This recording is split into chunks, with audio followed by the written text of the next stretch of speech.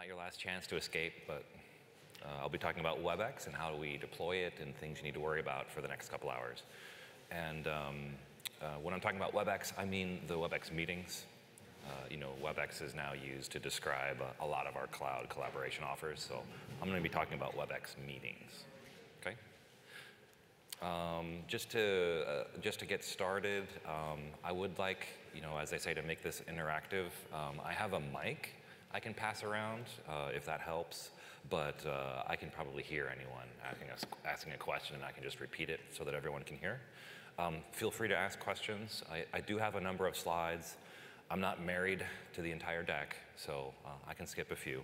But my goal is to help you understand uh, some of the common requirements and some of the common um, you know, problems that you might run into in deploying, mass deploying WebEx in a large enterprise.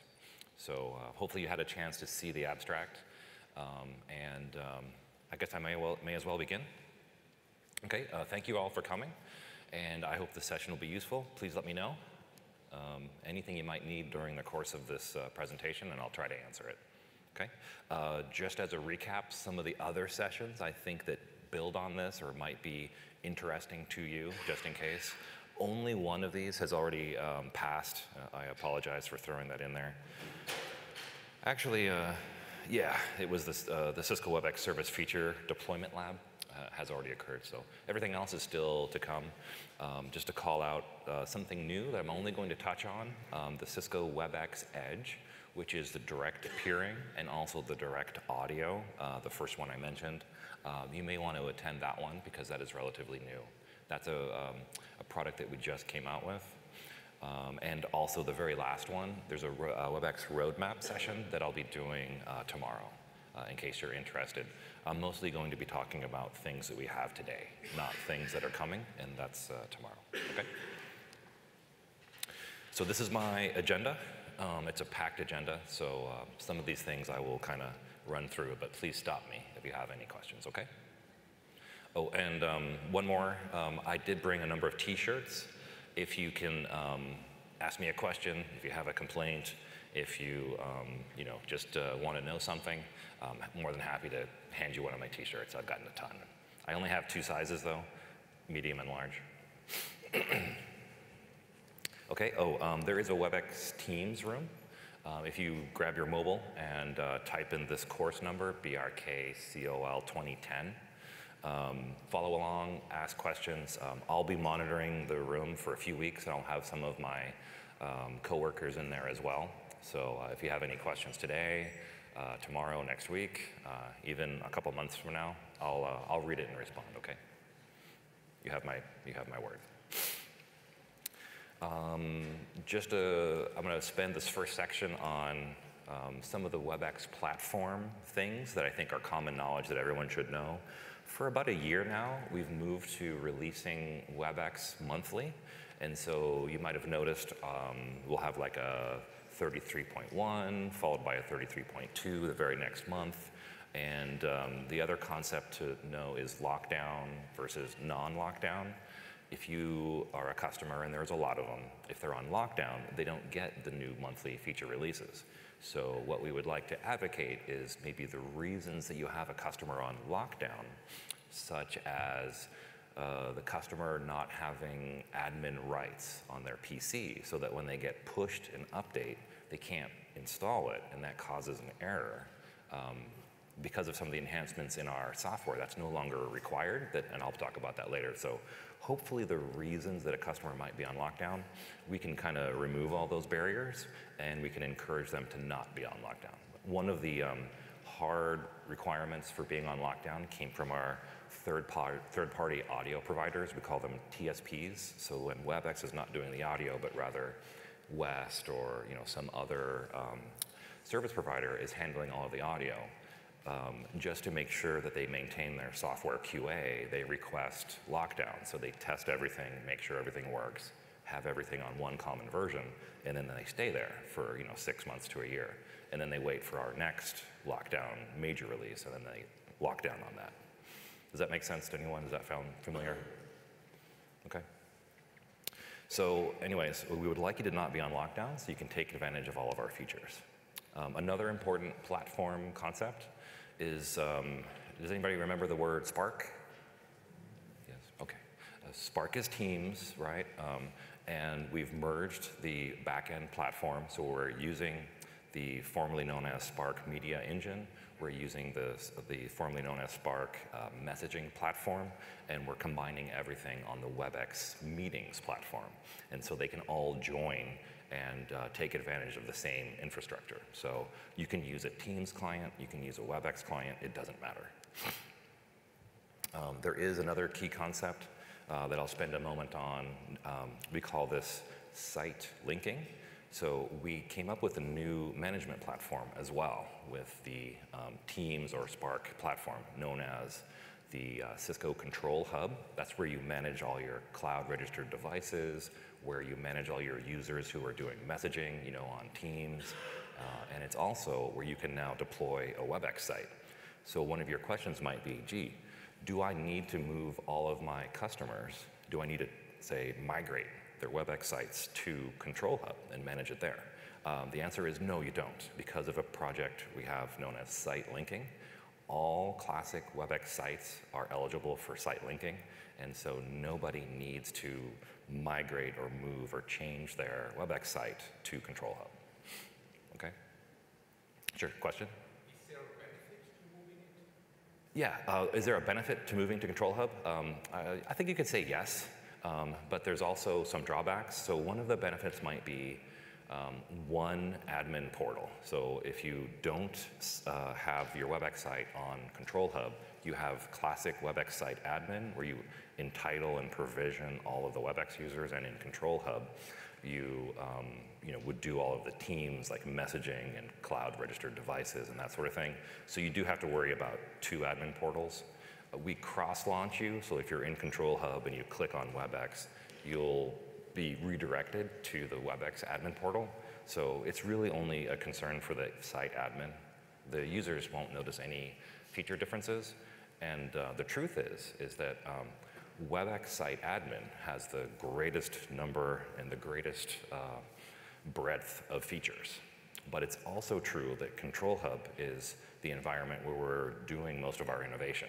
Like, um, you know, our devices register there, our calendaring and scheduling is going there with uh, the calendar connectors. Uh, we're also doing um, directory connectors, uh, you know, for user identity that I'll talk about later. So there's a lot of development occurring in Control Hub, but because of site linking, I can answer the question like, do I need my WebEx site on Control Hub? The answer is no.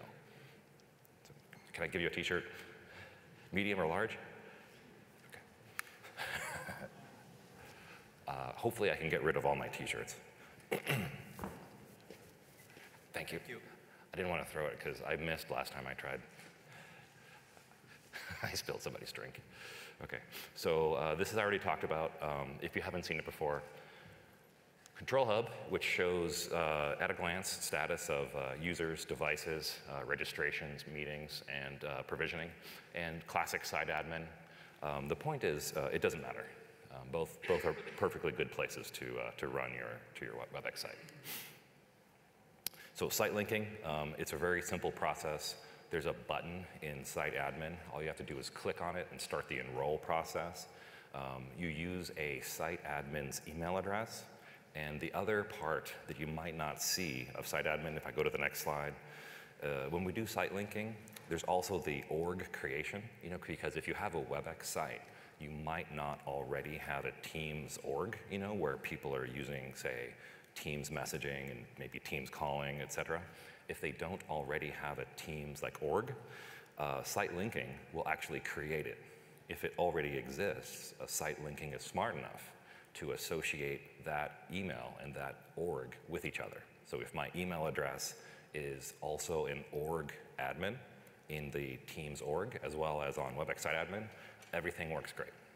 So just make sure that if you do the site linking, use the right email address if your org already exists. Question?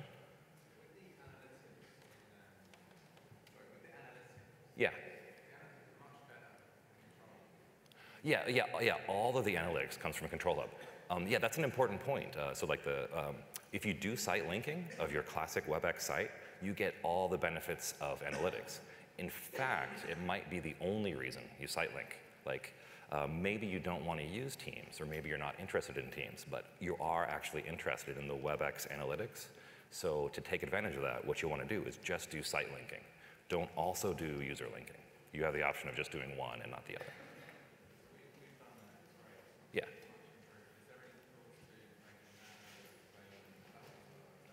No, yeah. So the question was, are we going to roll analytics back to the classic WebEx admin? No. Uh, we decided, um, uh, we, we, looked at all the various options of migration, transitions. Uh, we decided site linking is, uh, is the way forward.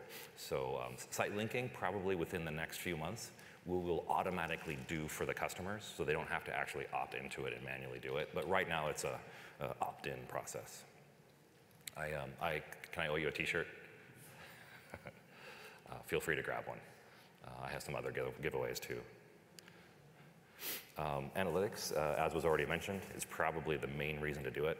Um, if you want to know, um, so before we had WebEx Analytics, we, um, in, including troubleshooting, we actually had nothing that was uh, user or site admin facing where they could go to troubleshoot problems. And I'll, I'll have an I have an extensive example of this where, say, I can extract um, a list in a given time period of all the people who were in a WebEx meeting that were having connection problems.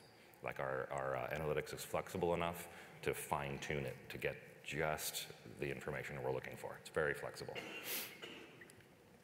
Um, just a, a, review, this is a, a, case study of how redundancy and failover works in WebEx, if you haven't seen it. Um, this is an example of the Cisco.com WebEx rollout, and we have offices around the world. Um, but every single WebEx site has a uh, primary cluster, we call it, and a backup cluster. If there's any problem in the primary cluster, we do this thing called failover, um, and we also, it's also known as global site backup.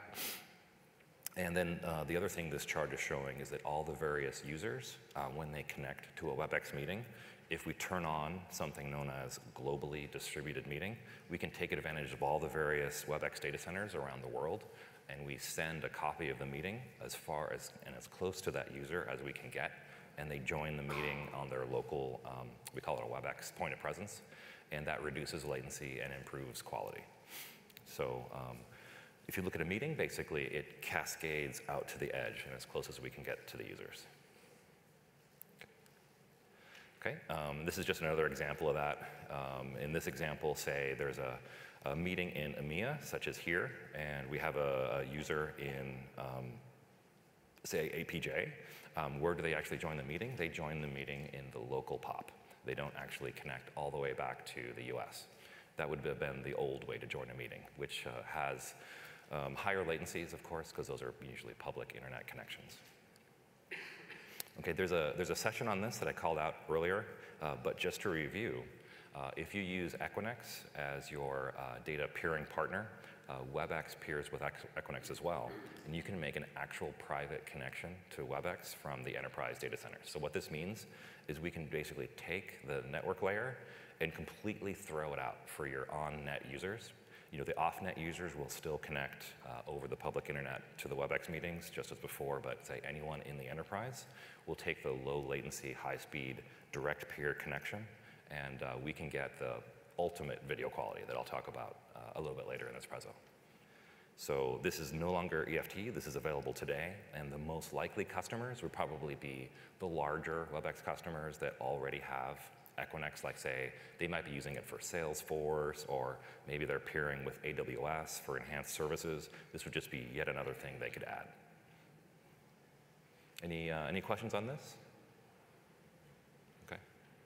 Okay. Um, there is also, um, oh, uh, before I move into the direct audio, there's also um, the roles and responsibilities, if you were just curious. Uh, our relationship with Equinix is you actually build a layer three uh, BGP peering with us. So we will exchange and we um, route with you and uh, we do the network engineering with you.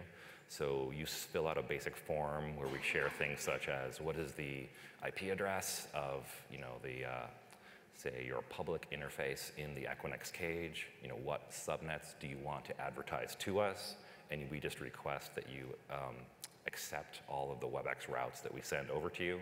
And once we've done that, now we're BGP established and we can actually route all of the traffic that ends up in WebEx subnets to you over this link rather than having you take the public internet. Um, Equinix owns the cage and they own the layer one and layer two, and Cisco is responsible for all the layer three routing. So um, it's possible you may encounter two people, you know, if you were supporting this online, like the, the day one and day two. Question?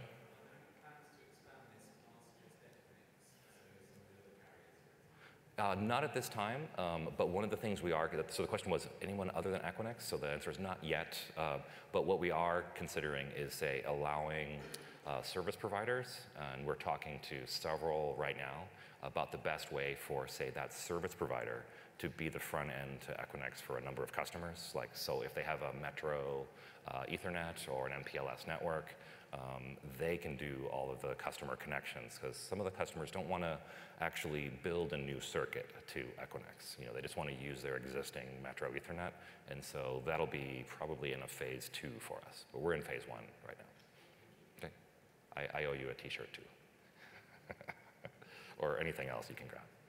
Okay, um, just some some traffic recommendations. Um, are you anyone familiar with the concept of cold potato, hot potato? It's kind of like a basic routing thing. It means um, what you want to do is get to the backbone um, as fast as possible, um, aka hot potato, and then um, cold potato, you want to stay on the backbone as long as possible. So this can actually be engineered just by using BGP, um, either like preference or community metrics uh, with us. Uh, that, so that the traffic uh, goes where you want. One of the questions you might have when you're deploying, say, direct peered connections is, I have multi-site, multi-region. How do I make sure all the traffic gets to where it's going and doesn't say take odd paths around the world? Um, the answer is don't worry. Uh, BGP is very good at this. You just have to configure it right. And, and our NOC can, can work with you on that. Okay, um, there is an entire session on WebEx uh, Edge audio that's occurring. Um, I put in the uh, part of this, uh, uh the earlier slide in this deck. Um, but basically, WebEx Edge Audio is um, a pretty neat project that we have. Uh, one of the hard requirements is an expressway for now. If a customer has an expressway, what they can do is basically zero out uh, the WebEx on-net audio calls. So what we actually do in the configuration is um, from WebEx admin, um, a customer will pick a given country code or a list of country codes and they will direct all of the WebEx traffic to a given expressway or expressway cluster that they have. And they can also make sets of uh, many sets of expressways. Say like you may have a number in North America, a number in uh, EMEA, and a number in APJ. You can assign all the various country codes to those um, direct audio connections. And you can also fall back on WebEx PSTN for those countries that you don't select for WebEx audio. So what that means is uh, working with uh, WebEx PSTN, the standard WebEx global footprint of you know, PSTN. You can also supplement that, such as uh, if you have an office in the UK, you can direct the UK 44 area code down to uh, your London uh, expressway cluster. And so all call-ins and callbacks from uh, that London location will be directly connected and completely avoid any toll charges. So, question?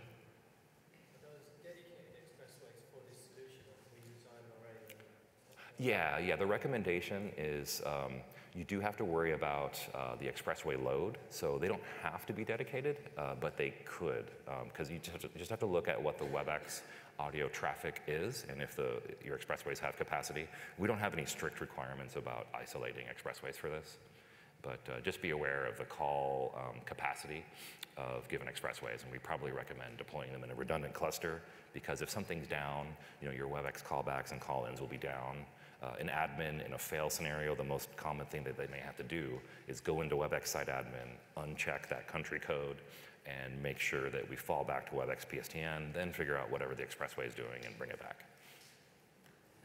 Good question. I owe you a t-shirt as well. okay, uh, so there's a whole session on this, but I just wanted to mention it. Um, there's also the video mesh node. Um, this has been around for a while, uh, probably known as the hybrid media node to you folks as well. Um, what it basically does is it consolidates media on-prem, lowers latency, uh, improves the video quality and that sort of thing. And um, the main benefit there is basically reduced uh, bandwidth and increased uh, video quality.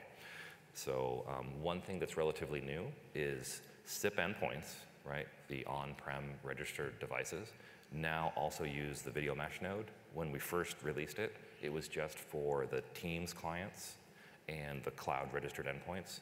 And in the second half of this year, um, so we expect that not only will the on-prem devices and the cloud registered devices and the Teams clients will also get the WebEx clients using the video mesh node. So uh, stay tuned for that.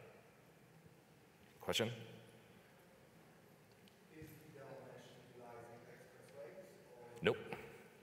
Yeah, the question was, does the video mesh node use the expressways? It bypasses uh, that completely. Uh, these uh, negotiate and talk with the firewall uh, directly.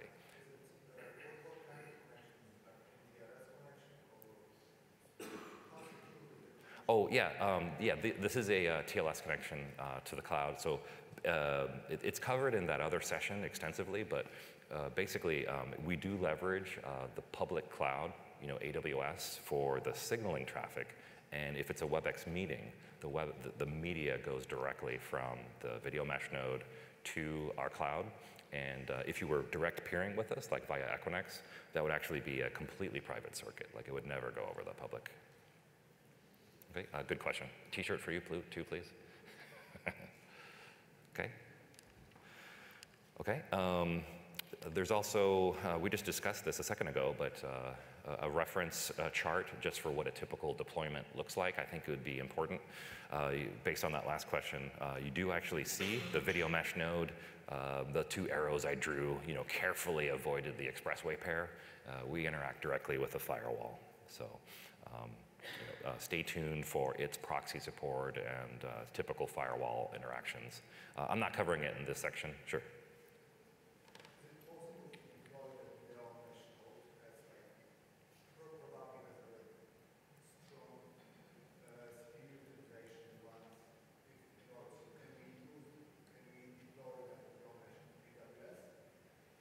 Oh yeah, can you can you host a video mesh node in AWS? Um, so uh, we don't officially support that, uh, but I mean, we're, we are definitely talking about uh, being able to support it like um, in our HCS, you know, cloud uh, deployments, but that's okay because we're using UCS chassis there. Um, we don't currently have like an AWS uh, image for video mesh node.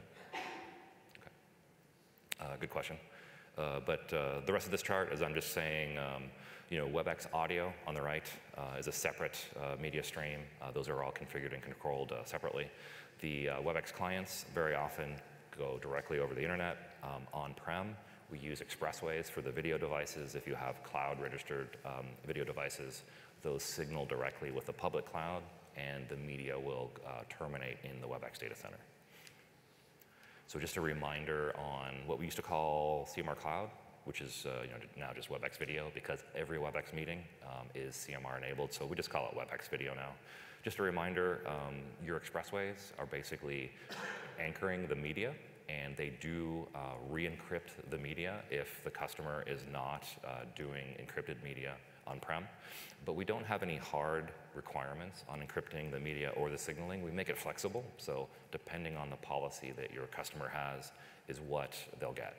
Um, so uh, if you haven't read our uh, WebEx video deployment guide, uh, feel free to grab it. It's, on a, it's one of our more popular collaboration help articles. But this is all um, relatively old. Uh, are your customers using uh, WebEx video, AKA CMR? Is it pretty common, video dialing? Yes? A few, okay. Okay, um, this is just a, one of my last um, platform uh, slides, we have a concept called minimally trans, uh, transcoded conferencing. So to put that into English, what we mean is um, we do video switching wherever it's possible because it's faster um, and uh, higher performance and leads to better quality, and we transcode where necessary. So if you look at the type of video devices we have, if you're using Teams, um, if you're using a WebEx board, if you're using a cloud registered device, these are all doing multi-stream, AKA switching video. And the classic devices, such as anything that's SIP or 323, our Jabber clients as well. Um, if you have a hybrid, um, excuse me, a video mesh node, or you're just going direct to the cloud and you're using our cloud uh, media engine, um, they're all following the same, same basic procedure.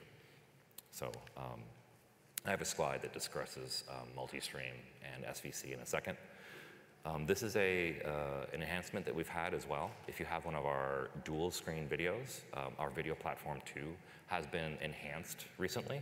So uh, if you haven't seen um, how it behaved in video platform 1.0, we had the unfortunate consequence of this second monitor not lighting up um, if content wasn't being shared. So now what we can do, that the default view, if you connect, is this one will be, say, a two by two or some other layout that you can actually select, uh, you know, using the keys. Um, if you're sharing content, you also have greater flexibility on what the layouts are going to be. So we've greatly improved the experience on the dual screen. And um, so only Cisco is doing that in um, cloud conferencing today, where we have uh, a dual screen endpoint that takes, you know, like a main video one and also a main video two and uh, on top of that, we can also share, share the content channel. And so we still will do the picture in picture across the bottom, say if there's additional participants. And it's very flexible. Um, Video Platform 2 has also made an enhancement regarding avatars or the uh, little picture in picture windows. So if this is the um, device, uh, has anybody seen this, this kind of behavior before? so it happens in, in one basic way, even on video platform two, right? Like say the user doesn't turn their camera on. So we don't have a solution for that. But uh, if, the video, if the camera is turned on, this is what you're gonna get. So before, we used to only have um, all participants, say on the WebEx side, all you would get is one active speaker shown to the telepresence side, and the telepresence side would only see one active speaker from the WebEx side. Now we're sharing um, up to five each way, and later on in the year, we're gonna up that to maybe 20. So what the benefit there is, is it looks like it's just one conference. So uh, with all of our default layouts, we have enough um, thumbnails now that uh, the users won't be able to tell that anything is weird. So this is just another way of looking at that. Um, and I apologize for the text, but uh, I think if you grab the deck and you want to take a, take a read, um, what we're doing in uh, multi-stream, uh, you could call it, it's actually H264 simulcast. And what that means is, is if I have a call into the cloud, or if I'm calling from point to point, when I'm using H264 simulcast, which is a version of SVC, I have um, a base layer and I have a um, more, um, say, additional resolution layer, like I might send the 360p layer, then I send a additional layer that is 720p, and I may even send um, the 1080p layer. And I could send one layer that is, if I'm only 15 frames per second, uh, we call that temporal, and one for 30 frames per second. And depending on the abilities of the receivers or the listeners, they will select from one of these channels. Uh, that's what multi-stream is doing. So in order to build those thumbnails that you saw earlier, we use multi-stream, which is I send um, my base layer and I also send the thumbnail layer. So each endpoint is actually sending multi-streams at all given times, which is why we call it multi-stream. Um, and this is just a uh, eye chart, just for your reference. These are all the things that Video Platform 2 is working on. So um, our video platform is not static. Um, you know, go ahead and grab the deck. And everything here is either available or coming this month. Um, for instance, 200 uh, video participants is huge. We've got the roster list. Um, I don't know if you've noticed, but the WebEx roster list, right, where you see all the participants, has been usually only shared on the WebEx side. If you call in from video, you don't see all the participants. You just see like WebEx and then all the other telepresence systems because you're calling into a bridge. Uh, with uh, this month, you'll get one complete roster list finally. So we're, we're pretty happy about that. Okay, um, this might be the focus of the presentation, so I wanted to do it justice, uh, just describing some of the things you need to worry about when you're doing um, mass deployments of um, WebEx. And what that means really is I'm trying to roll out 100 users, I'm trying to roll out 500, and you know, um, if I'm you know, really uh, feeling up to it, maybe 10,000 users of, of WebEx all at once. Um, so there's a couple things to be aware of, and I'll just describe the basic project and, and how it works, okay? So um, has anyone heard of the, the WebEx desktop app? It's basically the successor to productivity tools. Um, anybody seen that yet? Yeah, okay. Yes, we, we pushed it down to you, so if you weren't on lockdown, uh, you have this. If you have a customer with lockdown, this would be new to them because they're still on 32. So anyways, what is the desktop app? Before, we had um, a pre-meeting app called Productivity Tools and the in-meeting app called the WebEx Desktop Client. Now this, uh, the desktop app is actually both combined. So you have both the pre-meeting and you have the post-meeting um, client. So um, some of the other things that the desktop app can do, which I'll talk about later, is local sharing, uh, which is really great. So one of the um, one of the things that users like to do is run into a room and just take advantage of sharing uh, whatever they have on the, um, on the uh, cloud registered um, you know, telepresence device that we sell. So the, the, um, the desktop app can do that. You can also do it from the Teams app. They both work. Um, and in addition to that, if you're connecting to a meeting, you can also do the um, uh, local sharing and um, you can do the, I'm sorry, you can do the device control. So if I'm joining the meeting from my mobile or from my desktop, I can actually use the desktop app, pair with the room that I'm sitting in, and join it from there. Uh, if you wanted to see a demo of that, if you haven't seen it, it's, it's a really great feature. I think it's, a, it's the best way to bring our devices together because I think the first time we tried to improve the meeting join experience, we called it one button to push because users basically don't want to go to a device and type in the meeting address or the URI or uh, dial you know, a bunch of conference pins and hit pound, and it's confusing and terrible. Um, so one button to push requires scheduling, and it's great. But now if the meeting isn't scheduled and I just have a calendar invite on my phone, I walk into a room, and if I'm running the desktop app, I just um, you know, pair with the unit. Just takes a couple of seconds, uses ultrasound. I just need to be within 30 feet or so of the of the, of the device, and then I can transfer the meeting from my device to the, to the room. It's great. And uh, even when you're in a meeting, if I haven't transferred the call, I can even take whatever that device is seeing as the share, and I can see that as well. So you get the local pair and share, and it's just a great experience for the users in a room.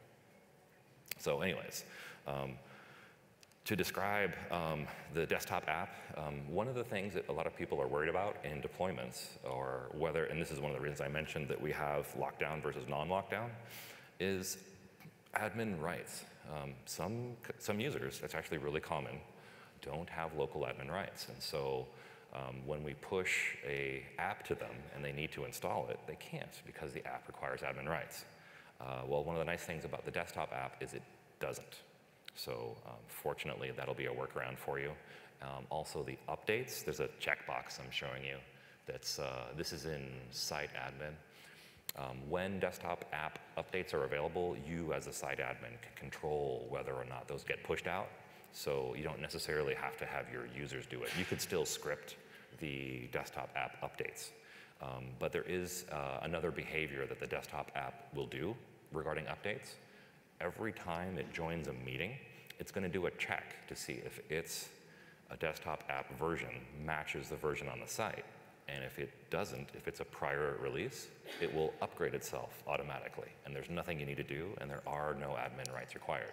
So the, the maintenance of the desktop app that I'm trying to say is um, really quite automatic. All you need to do is trust that it doesn't require admin rights, turn on that checkbox to allow updates, and you'll have no worries about your desktop app maintenance. Really, all you want to do is the first step of the desktop app rollout, which you'll still want to bundle and deliver. And uh, I have a slide on that in, a, in just a minute. And it's available, of course, both on Windows and, and PC. Okay? Um, and there's another client that I think is actually really important, and this is something probably for, it's most important for guest users, I believe. So what is one of the biggest complaints about the WebEx desktop client? Anybody?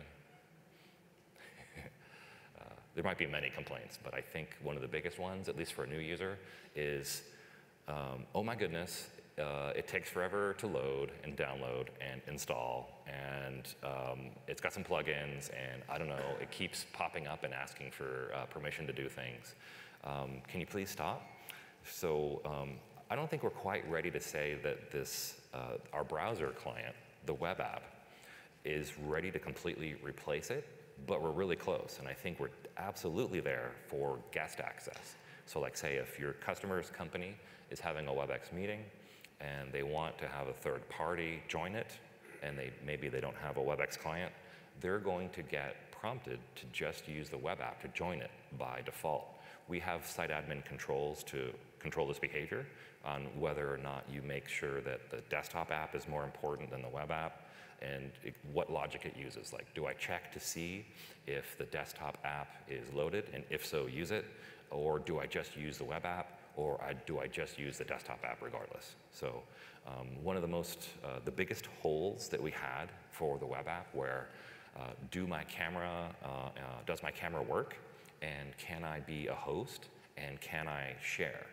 Um, all of these we have today for both Meeting Center and Event Center. So if you want to use either of our most popular WebEx centers, uh, the web app is perfectly fine for it.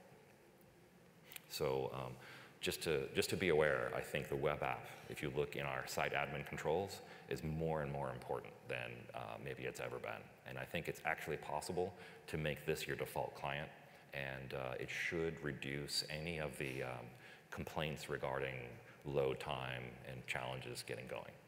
Um, but we still, you know, just FYI, um, we still use WebRTC, which has some uh, specific browser limitations. So you want to guide people towards Chrome and Firefox if you want their cameras to work.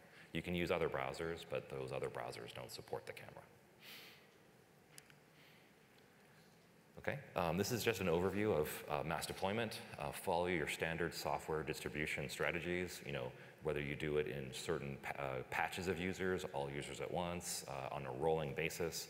Um, grab our desktop app which we make available on your site. Just go to downloads on your own site. You want to use your own site because it's possible if you try to grab a different version or you had one um, from, say, months ago, it might not be the current version. Uh, we always keep the latest and most accurate version of the desktop app on the site itself. So just go to your site, go to downloads, and grab the current one and deploy it however you normally do.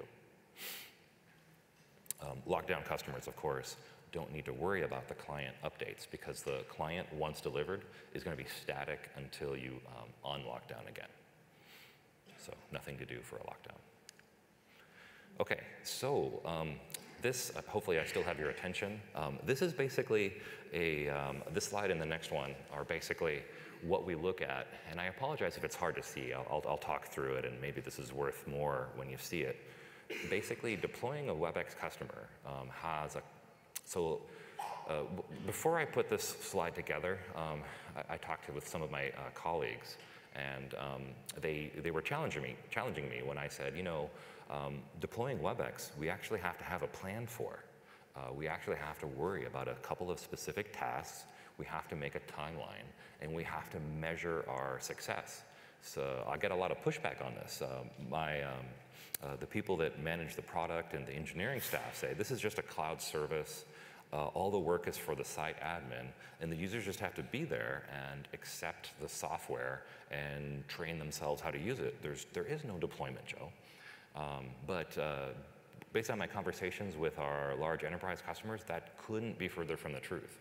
So if you're doing a deployment, you have to worry about the technical challenges. You have to deploy, say, the devices. They have to be registered. They have to be available. Um, maybe you need to do some work with your on-premises devices and your dial plan. You can make uh, tasks for all the, say, video devices. And that's just one part of the project. Then the next part of the project might be user identity. Where is identity stored? Is it in Active Directory? And I have a whole section on this, so sorry to bring it up now before I explain it. But you know, where do the user accounts get created?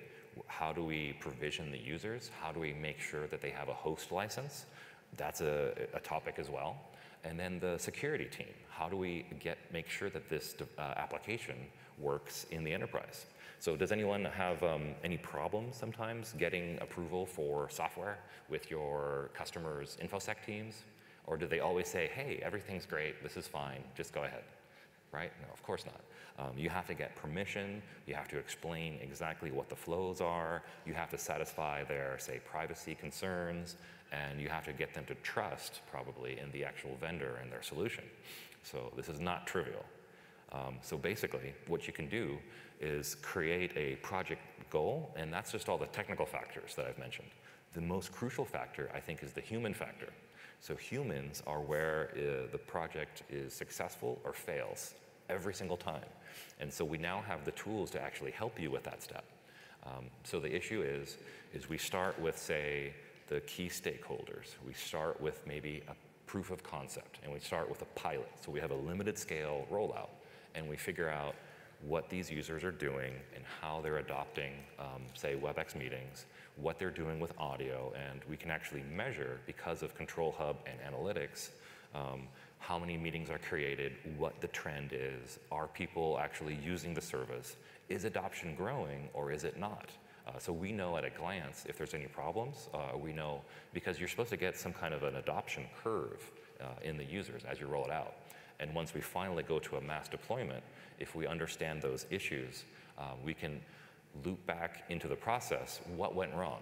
You know, so if you do a quick survey of your pilot users and you ask them, um, okay, what was preventing adoption? What is the problem? And you can discover, uh, oh, I don't know, uh, something was wrong with uh, cameras, something was wrong with uh, training, uh, maybe they don't know how to schedule meetings, maybe they don't know how to use the conference rooms, and we feed that back into the process. So um, I think the, the point of this slide and the next one is identify uh, the key deployment steps on the technical side, um, identify the human factors train the users, get their feedback, feed that back into the system, and also um, uh, use, uh, use the available analytics to measure your success and to make changes. And so a typical deployment might probably take three to six months, and we go through a couple of loops. Um, this isn't just make the software available, hope for the best, and then go away. Because um, you know, this is something that can, um, uh, what do you say, it doesn't fix itself you, you have to watch it. And so you do have the tools now to, me to measure and monitor the success and to work with the uh, users and to train them. Okay? Um, so that was um, you know, just some generic project goals. So it's really just borrowing from um, what uh, any, any IT software delivery project is. Uh, everyone follows the same basic procedures, and WebEx is no different. Okay, so users and identity management. Um, this is actually a really important topic as well, right? It's the, it's the first step when you go to deploy. So the question is, where do users come from? You know, like uh, when you have a classic WebEx site admin site, which is 90 something percent of all of the WebEx sites, um, they have, uh, you know, the question is, where do these accounts come from? There's only four methods. One, I can go into site admin. I go to users and click add. I can make a user, fill in their email address and some, whatever the other details are and hit enter. That's one way to do it. Very painful. Do, does anyone want to do that 10,000 times? No, I don't, I don't either. Uh, CSV import, um, also painful. So what I could do is go to AD, export my users, have everything in the right template, upload it to WebEx, and it creates all the accounts. Um, that's kind of a pain in the neck too, because you're going to be um, formatting fields in Excel um, probably rather extensively to make that work right, and it's kind of a pain in the neck. Um, the easiest, I think, is the SAML, we call it SAML just-in-time account provisioning. Uh, that was a key development we had in Site Admin.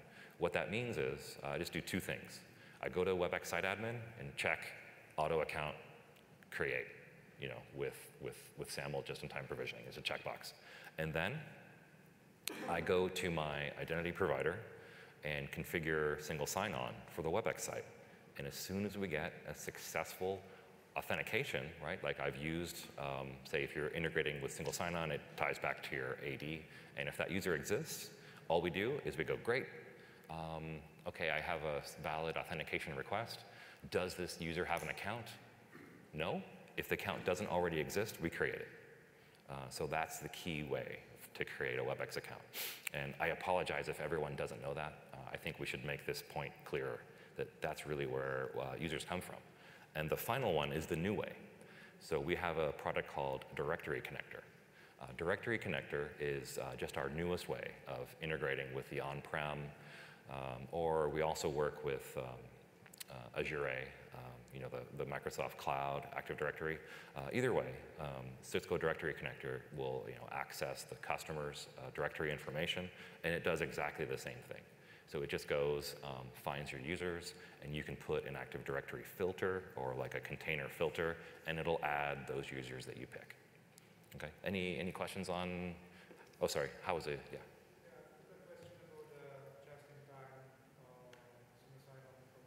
Yeah.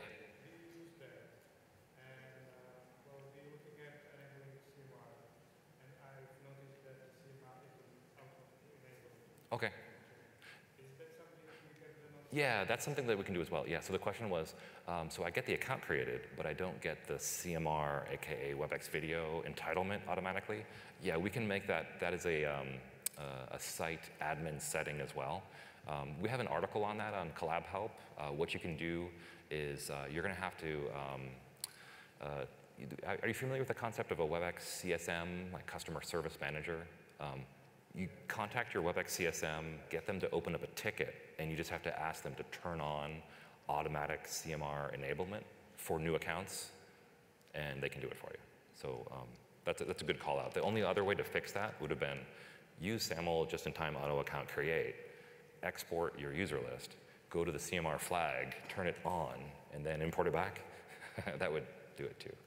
Or you could do it one at a time also, the painful way. Good question. I think I, I gave you a t-shirt yesterday. oh, so uh, I got a bunch of questions. Shoot, okay. I'll try to just take a couple, but go ahead.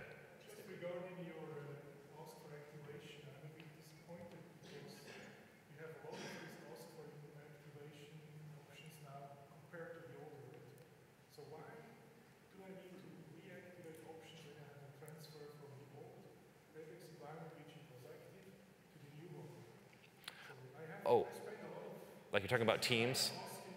Yeah. Yeah, you're talking about teams, uh, user activation, WebEx test sites?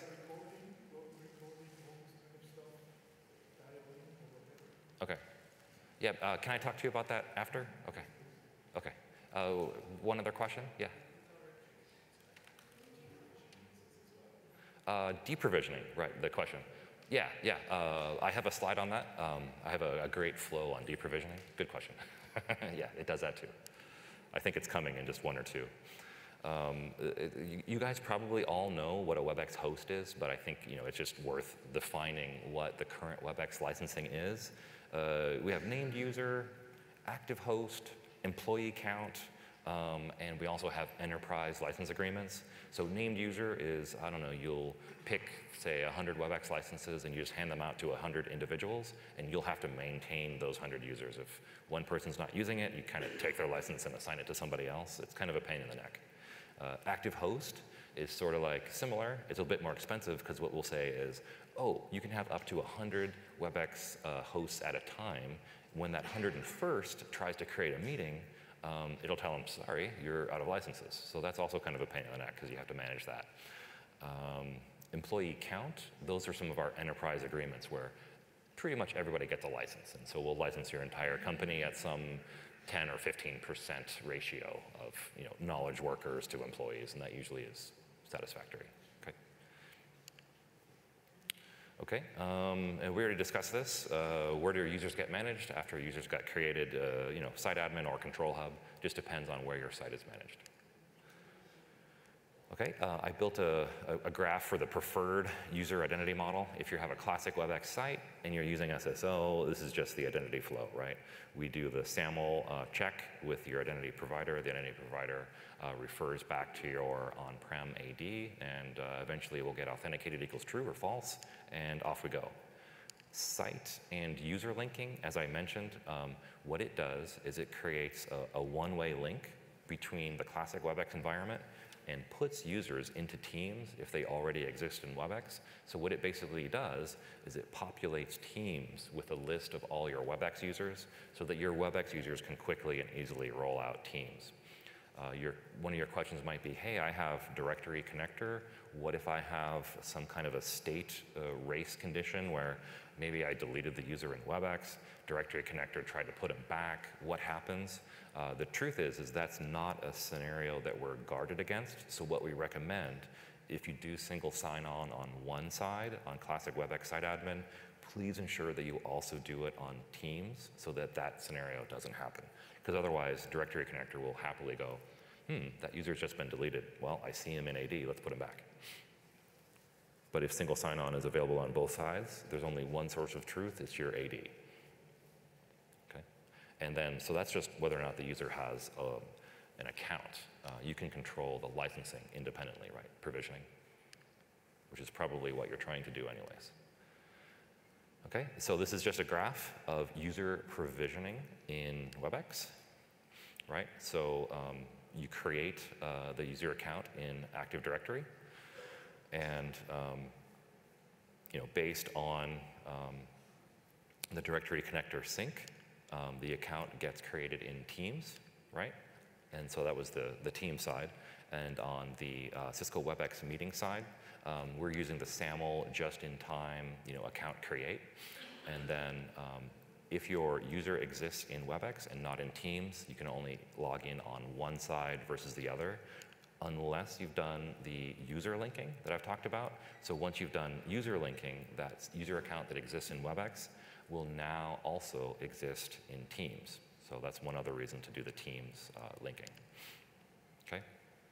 And I think the question was about deprovisioning. Um, I made a, a, graph on deprovisioning and how does uh, deprovisioning work. So in the user linking scenario, the Cisco WebEx side is the master for the account. So if we did site and user linking, and I created an account on the WebEx meeting side, uh, and a delete occurs, like say an admin went into Cisco WebEx and deleted the user, or if I'm AD tied and the account was deleted in Active Directory, um, what Teams does is it receives that sync notification from our cloud and actually goes ahead and deprovisions the user. Um, we don't move it into deleted state for 30 days. Um, that's just a, a standard uh, cleanup policy we have on the Teams environment. Does that answer your question on deprovisioning? Okay, great. Okay. This is more of a forward-looking statement on uh, things that we're, that we're doing with user identity. We're at phase one, which um, we have one license template. Um, this is regarding, like, say, host enablement or host entitlement, you know, whether or not I give them a license. So we have one template. So not just user account creation, but also host entitlement and provisioning. Um, we have a single template that um, will give that user, say, a WebEx meeting host license, say a WebEx Teams license for messaging, and maybe even uh, WebEx calling. Um, what we're going to move to is uh, described here to be a bit more granular so we could have multiple templates, say this group gets calling, this group gets meetings, this group gets nothing. So uh, everyone gets an account, but their provisioning, uh, their automatic provisioning will be more flexible. So today, basically, what we do is you get an account and you'll get a default entitlement, such as messaging and WebEx. And you can make that default whatever you want. Um, if you've seen it, um, just go to our Collab Help uh, site and look at auto license assignment. Uh, this is just an example of a user, say, by default being given messaging, meeting, and hybrid services access. Uh, you can make that uh, as much or as little as you want. You know, like here's where you would control whether or not they get a WebEx meetings license by default. You can always go back in and change it. That's just when the account gets created. Okay. I think my, my text flew off the page a little bit, uh, but SSO should be um, old hat. This is just basically the classic ladder diagram of how single sign-on works. Uh, we highly, highly recommend it in the enterprise. Um, because your identity provider can match with uh, all of a customer's basic um, policies regarding authentication, two-factor, uh, anything they need to do. Um, WebEx authentication is not quite as, as flexible. Uh, if you haven't taken a look, go to our collaboration help portal and you'll see a number of articles and a single sign-on guides on how to do it. Um, and then um, just uh, in, in early field trials that you should be aware of, is this simple cross-domain identity management concept, which is really basically entitlement and provisioning, right? Handing off the licenses, the capabilities all in one step. Um, so look forward to this. That was also kind of described in phase two. And so these are all the various identity providers that we're working with, and there will be a lot more uh, that will be able to do that for you. So you'll be able to be a lot more flexible to not just just-in-time provision a user account, but also to just-in-time provision their user licenses based on whatever criteria you have. So this will be great. This will enable us to deploy customers um, automatically and as flexibly as you need. So this was the um, SSO uh, guidelines. Okay, um, and then I have a great example. Sure, question? What's the timeline for phase two? Phase two will be this year. Yeah. So uh, we're thinking like in August-ish, we should have SCIM. So that means if you're rolling out a customer this summer, it might, be a, might not be there yet. you might have to use a default uh, provisioning template and then manually adjust them. Okay. Um, uh, analytics, uh, I, I, promised that I wanted to give you an example, but um, this is something we've never had before. And like, uh, I, I, should have maybe introduced myself, but I came from TAC at Cisco and I spent about a decade there. And so that was a very, very long period of my life. But what it gave me is a very, very strong sensitivity to customers that have problems. So I'm always on the lookout for uh, ways that make um, you know, it easier for our customers' lives. Well, this is something that makes an admin's life easier. Like, um, pretty much every day of my life, this is what it sounds like. Hey, uh, Joe, um, one of our customers was in a meeting and uh, they were saying something was wrong. Uh, can you look into it? Yeah, I can look into it because I have access to the, all of the back-end reporting data, but the site admin, right, the guy from IT that's complaining to me, he never had anything. So um, this is a very, very bold statement, but I can say it confidently. Um, if you are a site admin and you have a Control Hub with analytics, which just requires site linking, you know, and it's available to everyone, just do it. Um, if you have that, you can go into your meetings and create, uh, we call it like a trouble list. Any user that's ever been having a problem at some predefined threshold, such as uh, jitter beyond a certain spec, latency beyond our spec, uh, packet loss beyond our spec, you know, like 2%, um, I can make that entire list through any duration of time I want. That's pretty amazing. And so I just wanted to show you what that looks like. And this is exactly how you would create that report. It's like five clicks and you'll get all that data. So log into Control Hub and um, go to the Meetings tab, right? So if you want the WebEx meetings information, that's all you got to do, right? There's a whole bunch of other stuff in Control Hub like device reports, video mesh node reports, what users are doing. You know, ignore that just for this step. I want to know what the WebEx meetings problems are. So step two, if you look at time, um, I know you can't read these, but these are months. We just kind of default view by giving you the month data. You can change that to daily, uh, uh, I think weekly, uh, or and quarterly. But uh, just select the month. That's the default view, and it makes it as easy as possible. In this example, I'm just picking August 2018 when I made this chart. So I want to know who all the problematic users are in August. So the first thing I do is click on August. And then you can see uh, right here, I have my first sort criteria. I'm just looking at the August meetings, which is this bar right here, okay? And so now I've selected that month, and now, um, if you notice, there is a chart right here. So it shows um, all the meetings in the month, and I get this is the list of all the users that don't have problems based on the predefined uh, threshold. And this little bar that's red is actually the list of all the users that we want. So all you gotta do is hit the mouse, click that red area, and keep going. So now I've, I have all these sort criteria you know, by month, um, by uh, location anywhere and by uh, above my predefined thresholds. And so now I have the entire list. I'm actually done. And if you look at this list down here, it starts listing them all sequentially, and it shows you like, you know, here's their VoIP packet loss, you know, here's whether they were TCP or UDP connected, and if they had join meeting time problems, that it shows literally everything. All I've got to do is hit this button right here and go export CSV. And here's my, you know, uh, problematic user list. And so if you sort it by user, you'll get duplicates, right? And you'll see uh, duplicates pe are people that are having um, multiple problems. So what I can do now is say, okay, I get random problem reports, and um, I don't know how many problems there are in my company, um, but now I don't even have to worry about who's reporting problems to me. I can just run a report and find who is actually having problems, and then I can try to take some steps to, say, alleviate their pain. So isn't that, that's pretty amazing, right? Sure, question? Uh, sorry, I didn't, didn't hear that. Oh yeah, so the predefined limits right now are fixed. So we've decided on our platform based on you know like uh, years and years of data that we know that latency beyond 250 milliseconds is noticeable. Packet loss beyond 2% can be noticeable. If they're TCP connected, if they're UDP connected, it won't be, but we include 2% packet loss just because they tend to have other problems too. And then jitter, we have a predefined figure of you know 30 milliseconds. If you're true in any of those, you make the list. And uh, we're gonna have the ability for you to set those limits yourself so you can make them you know, less sensitive or more sensitive. But uh, we can confidently say anybody in this list is probably having problems. Sure, question?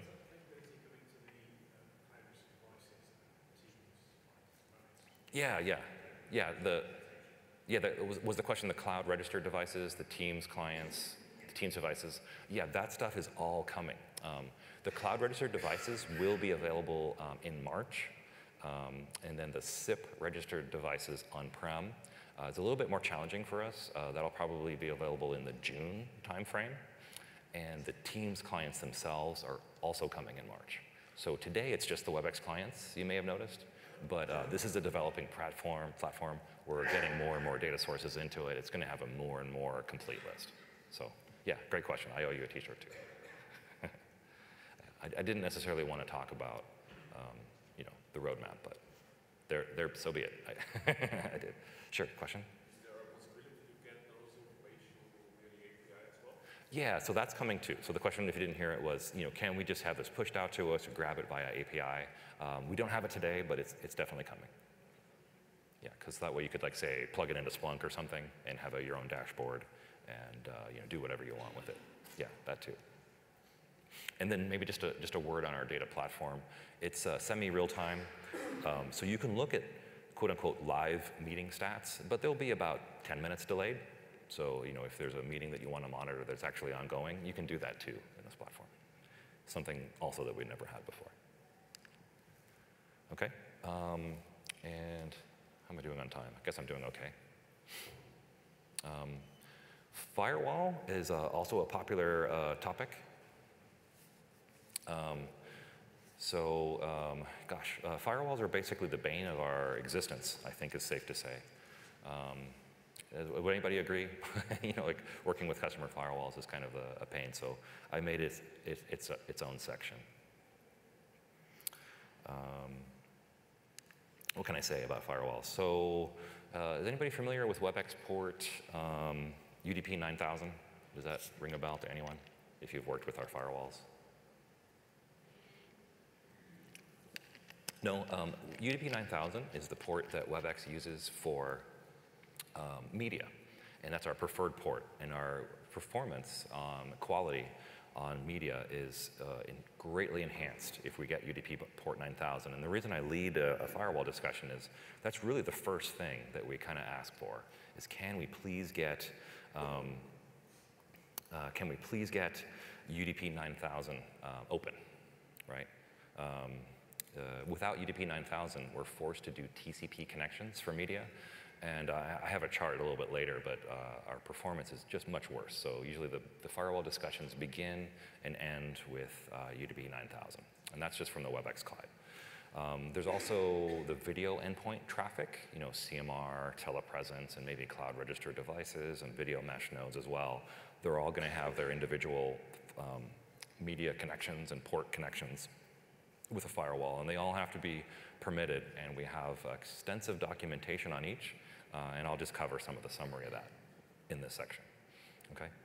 So, um, but suffice to say that we, uh, we live and die by firewall configuration. You know, uh, if, they, if the firewall is inspecting our traffic, it's going to uh, affect video quality.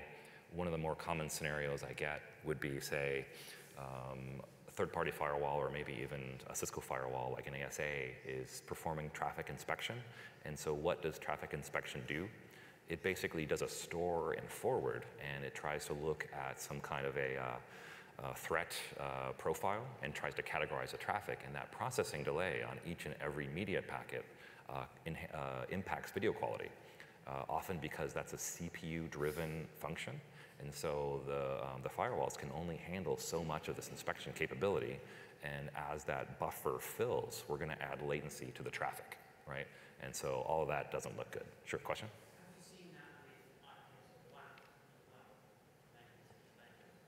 Um, IPS or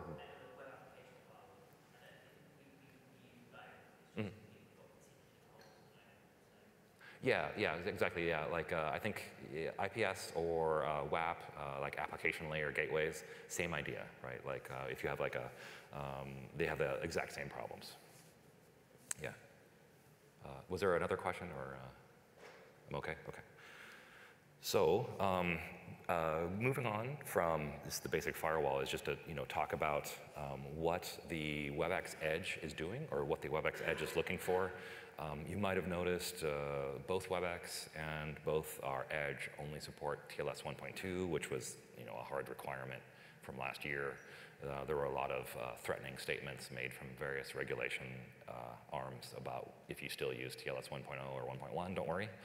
Um, uh, this, this still says Spark, but Teams and WebEx do have some slightly different uh, certificate trust sets. just refer to our documentation on it just so you know that we don't actually share all the same trusted root cert. So if you load in a, a cert in our expressway to trust WebEx traffic, uh, just know that Teams uh, will require one for the Teams side as well. Uh, they're independent. They use a different uh, trusted root. Um, we do support mutual authentication, um, and then maybe an interesting concept if you, if you weren't aware, uh, in our cloud, we have something known as L2SIP, so if you have a cloud registered device and you do a SIP call, um, what it's going to do is it signals and sends its meeting, uh, media to the public cloud. And in the public cloud, we have that L2 SIP gateway, which translates the WebEx um, cloud registered endpoint into a standard based SIP call. And so anytime a cloud registered device calls into WebEx, it actually goes through our L2 SIP gateway in the cloud, of course. Okay, um, this is just maybe an FYI. Um, on the top, I have the Teams clients, and on the bottom is WebEx. Uh, there's just one call out. If you're doing QoS and network design on the WebEx client, one problem we have is um, we don't use a hard range for audio and video like the Teams client does. It all comes from one pool. So just be aware if you're trying to strictly identify traffic on the network, uh, you're going to have to rely on something else to identify audio and video separately in the WebEx client. So good to know is our um, Windows client will um, not be able to uh, tag the traffic by itself, but the Mac does. But there's other Cisco technologies based on application recognition, recognition such as NBAR, NBAR2, and DNA-C, which I'll talk about a little bit later. Uh, when they're running in your network, uh, they can identify WebEx traffic and they will uh, assign the appropriate you know, uh, DSCP or QoS values. Um, but Teams does that by itself. It's one of the enhancements that the Teams platform has given to us is whenever they're using traffic, uh, they use clearly defined ranges and they tag the traffic by themselves. Um, the WebEx client um, does require on some network intelligence unless you're on a Mac for it to tag its traffic. Um, I've also designed a, a flow chart. This is really just basically based on our how do I enable um, WebEx on my network if you go to our Collab Help portal. But this kind of shows you um, what that chart is missing is some of the vectors. Like uh, if you're configuring a firewall, you need to know what direction the traffic comes in.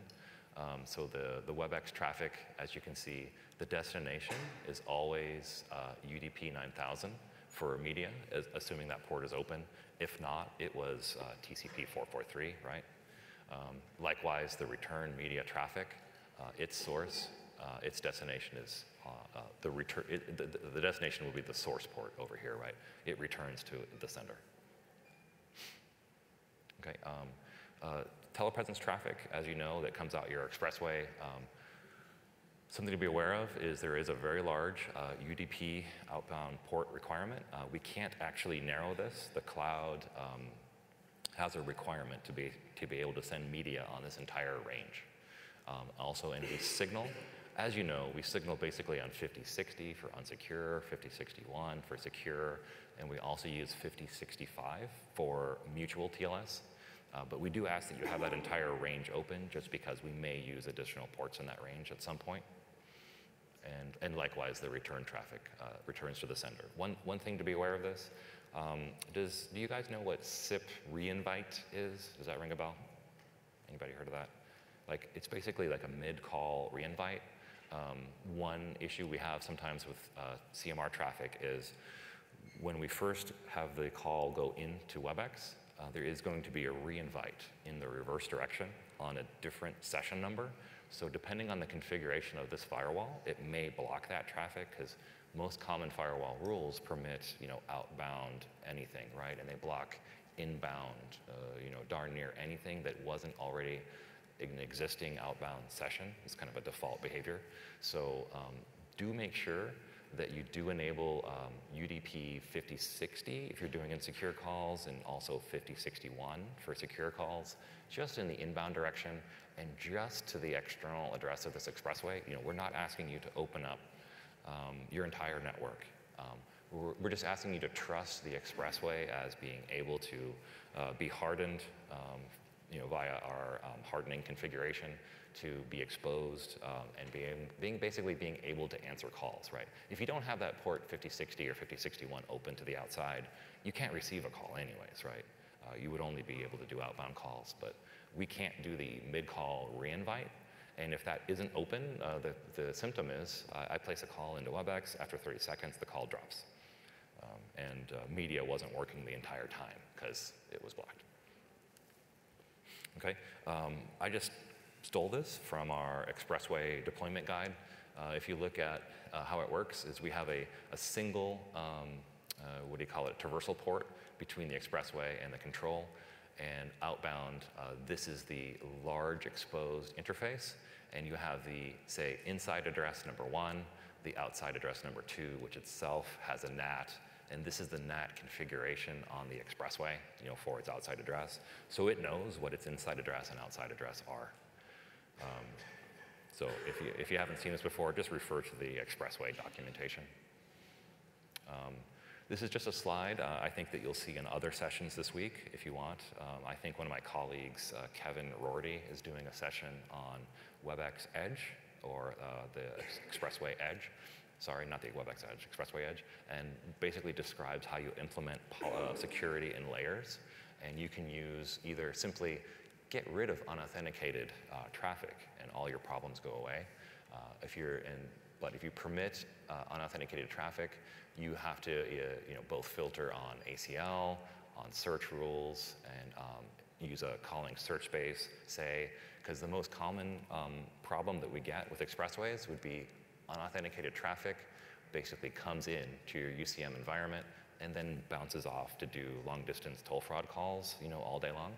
So if you prevent um, this type of traffic from making um, outbound calls, just say, hey, if you have an unauthenticated traffic, that's fine. The range of numbers that you're permitted to dial would be, say, um, I don't know, video conferencing gear, because we're trusting that you're probably a call that understands uh, my dial plan and is hitting one of my conference rooms.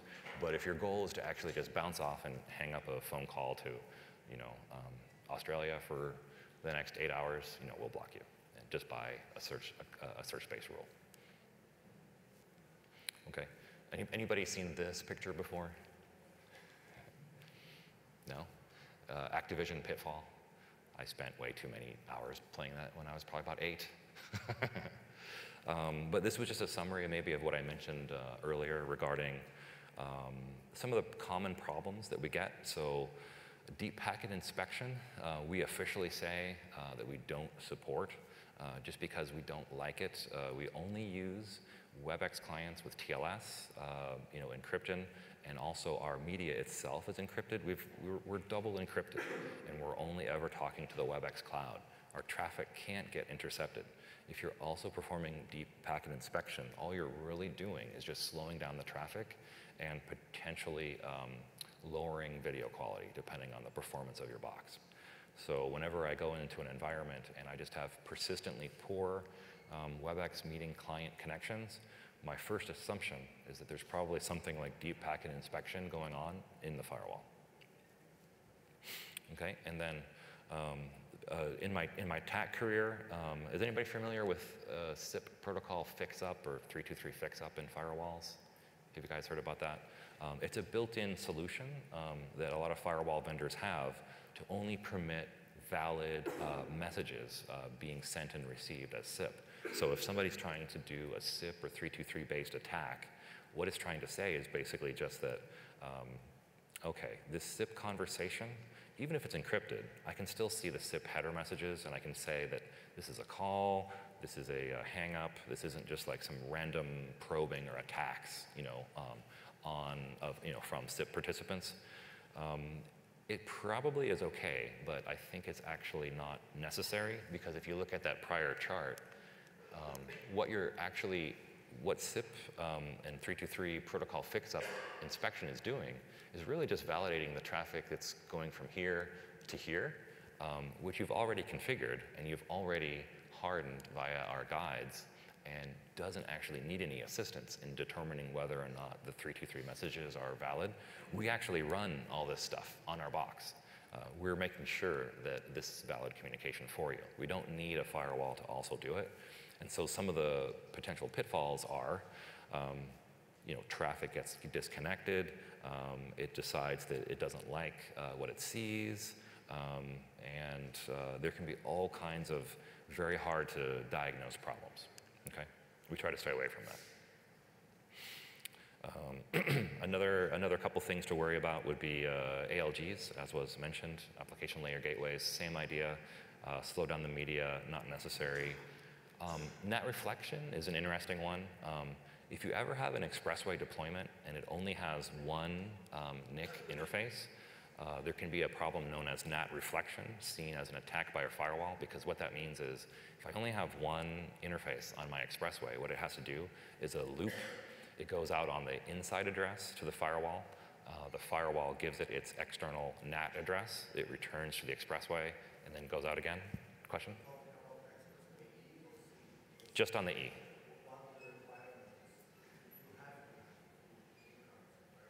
Uh, I'm sorry, one of the requirements is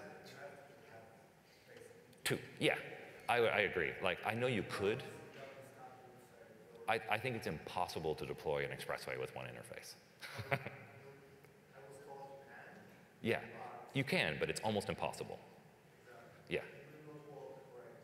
Yeah. Yeah. So hopefully you never need to hear about this. Like, I never want to hear one of these problems ever again. But if you have an expressway with a single interface, you may have this problem with your firewall. Yeah, good question. Okay. Um, I, I, wrote some articles on our, um, uh, what do you call it, uh, both internally and externally on this particular topic. So if you don't want to end up like this poor guy, like hopefully that was scuttled and not an accident, but I'm afraid it was an accident. I hope nobody got hurt, but anyways, I thought it looked kind of funny. Um, if you have calls that are disconnecting on well-known intervals, we almost automatically know what the problem is. Like if I get a call and a customer says, hey, Joe, um, my calls are hanging up every 60 minutes. Like, have you ever heard of this symptom? The call stays up for 60 minutes, disconnects. What could it be? Um, what it basically is, is um, somewhere in the chain um, between, um, if I go back here, somewhere in the chain, almost always right here, between this expressway and this firewall, and very often maybe another firewall that you don't see, some of the SIP timers are not aligned. It's either the SIP timers or the TCP timers. So the TCP timers go all the way from the endpoint to the UC manager or uh, expressway call control. Um, they all need to have their timers aligned. And so Cisco has done you know, uh, the job of setting all of our default timers to 60 minutes. And so uh, the third-party devices, such as the firewall, also need to have their um, TCP and SIP timers set to exactly the same. If they aren't aligned, we can get this kind of problem, because what that means is somebody might be sending a keep alive, and based on our timer, we don't think that we need to return a keep alive to that person. And so um, the session can get torn down uh, just based on a misalignment of timers. Because uh, say if the firewall is set to a 30 minute timer and ours is set to the default 60 minutes, at 30 minutes, uh, the firewall might say, hey guys, uh, I know there's a call up on here, but uh, are you still using this port? You know, uh, where's your keep alive? And we're like, I don't know, man. Um, I don't owe you anything for another 30 minutes. And so the firewall goes, hey, it's about that time. Um, you know what I'm going to do? I'm just going to drop this connection. Too bad get, get lost. And then that's the symptom we get. So you'll have to spend uh, a hop by hop in your um, um, uh, hop by hop uh, uh you know, um, analysis of all the various points where uh, the media and the signaling go through your network. Usually it's just endpoint, call manager, um, expressway, firewall. Uh, somewhere in there, somebody's timer is not aligned. And um, if you look at our Collab Help portal, there's a number of articles on this topic. Okay, okay, just some to-dos. All right, QoS and uh, WebEx is also a, a good, uh, uh, a good topic. Uh, I enjoy this one. So I've stolen some of the thunder a little bit. I've described um, how QoS uh, tagging already works. This is just a reminder. This is just a different way of looking at the same problem. So the Teams client, uh, we like to use it as a good example of what to do. Um, we put per our SRND. Has anyone seen the SRND uh, for QoS in collaboration? Anybody read it? No? this is where that comes from. There's a, there's a design guide on you know, how to categorize and classify and how to maintain media you know, in your network. And so we're just following along. Uh, we're doing the same thing. So we have audio, video clearly defined, and this is just signaling, right? So like signaling traffic uh, is in the best effort, effort scavenger class. So the meeting client, as I was saying, um, doesn't have uh, differentiation. Um, so one thing you could do is apply a single um, policy to both audio and video, which might not be a great idea. Uh, the other thing to do would be to say allow your network intelligence, um, NBAR and DNA, to do the categorization for you. Otherwise, you could go and manually build an ACL to use the source port of this big range and to put everything into one category. Um, you know, either way you do it, uh, you'd probably get yelled at. Uh, you could define it, everything as audio, uh, which might disrupt audio. You could define everything as video, which might disrupt the audio within your um, WebEx clients. If you're using out-of-band audio, such as PSTN, you know, cellular, uh, then maybe you wouldn't need to worry about this and you could put everything in the video class and succeed that way. Um, why does this matter? Um, I don't know if you've, have you guys seen this chart before? Uh, this is just the uh, ITU recommendations on latency and how it affects voice and video. We have a really, really tight range um, for success. This is why QoS matters.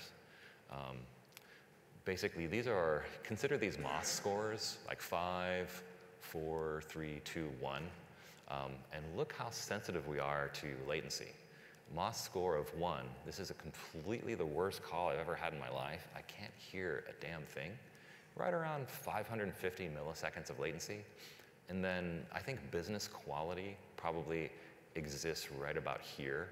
This is the absolute bottom of uh, business quality. So if you get a 300 millisecond total latency, um, that's the absolute limit.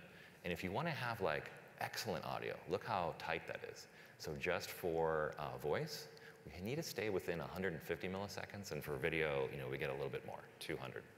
Um, so we don't have a lot of time to play with. If you look at how the traffic goes from end to end, we also have path latency, right? The speed of light, the network switches, internet providers, queuing, forwarding. We have encoding and decoding, and we have buffers. So about maybe half of this budget is used just to encode and decode the audio and video. And then that doesn't leave us much for the path latency. And that's why the direct connect can do nothing but improve things. So if you look at like say typical path latency, I think you could say, at least in the United States, the number we use for path latency from say Los Angeles to New York um, is going to be around 40 milliseconds.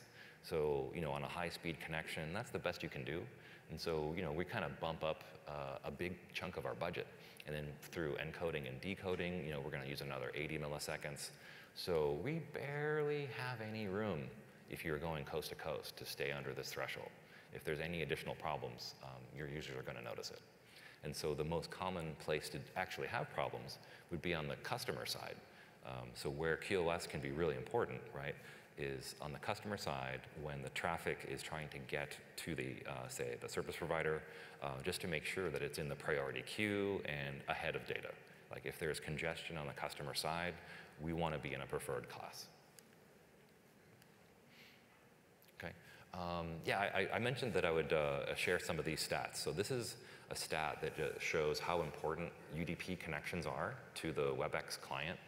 Um, when, when we're UDP connected, um, we get good results um, uh, all the way um, up to about 2%.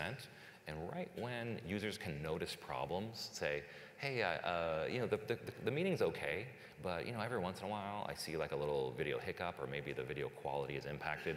We can go all the way to about six to 8%, and the users are still really happy with the meeting, but they're saying, but I can see something though, so that's a, that's a great tolerance. You know, also, the latency that they can tolerate under UDP is really, really high. If we're TCP connected though, look how dramatically different that is only up to about 2% um, can a TCP connected person still say, mm, okay, I'm in the meeting, it's still good, it's okay, uh, but I do notice something. Beyond 2%, they will start to complain, which is why we build that other chart on the, um, you know, the, the problematic video at right around the 2% packet loss window. And uh, Teams client is actually even better. Uh, it can go all the way up to about 10%. So that's kind of a crazy amount of, of packet loss to just ignore. Okay. Okay. Um, rate adaptation. So there's there's three basic strategies that we have in media. If I were um, ha having this discussion with you guys, maybe even as early as five years ago, we would have said something like, um, "Here's Cisco's way of deciding how to ensure video quality. You know what we're going to do? We're going to provision the network. We're going to get all the queues right. We're going to get all the traffic tagging right. And then we're going to have a dedicated circuit or a relationship with a service provider. And we will establish, say, end-to-end, um, you know, uh, uh, magic pipes as far as ensured delivery, guaranteed bandwidth, and uh, tested and engineered to perfection. Uh, that was what we had with our telepresence system. Um, and, but there's been a lot of important developments since then. We decided those types, were not we, uh, customers have decided that those circuits are way too expensive. Uh, customers have decided um, that, you know, um, maybe good enough is good enough. And then uh, there's also been the rise of net neutrality, which means uh, my data isn't necessarily more important than somebody else's data, even if I'm tagging it with EF class, you know, for audio, because I actually can't tolerate um, loss or it's terrible. But I guess everyone has decided, well, what happens if everyone tags their traffic EF? We're back in the exact same problem. What if it's not really audio traffic and people just signal for higher priority? Uh, what if people misuse the system? You know, what if what if data is actually as important as audio? You know, how do we decide? So everyone threw their hands up and said, I don't know how to tell you how to decide. Maybe everyone's traffic is equal. So uh, rate adaptation is one of the um, requirements to succeed um, in uh, any kind of a media deployment. So basically there's two methods. Either we use receiver reports, where the receiver says, hey, based on um, uh, the packet uh, source numbers, uh, I'm noticing that I'm missing a few in the sequence or they're coming in out of order. Can you slow down? You know, you're killing me. And so they'll respond to the receiver reports. There's also the sender reports, uh, which are just based on um, um, you know, the, uh, the, the, return traffic not arriving in time. And so um, a third option would be like a predictive method. But basically the, the, the, the real result of this is we either have to downspeed, uh, back off, and uh, there's also upspeed, right? Upspeed is the other alternative to this. Is everything's going well, we can climb back up the ladder and go back to video quality after a problem has occurred. And um, media resilience, uh, this is a great graphic.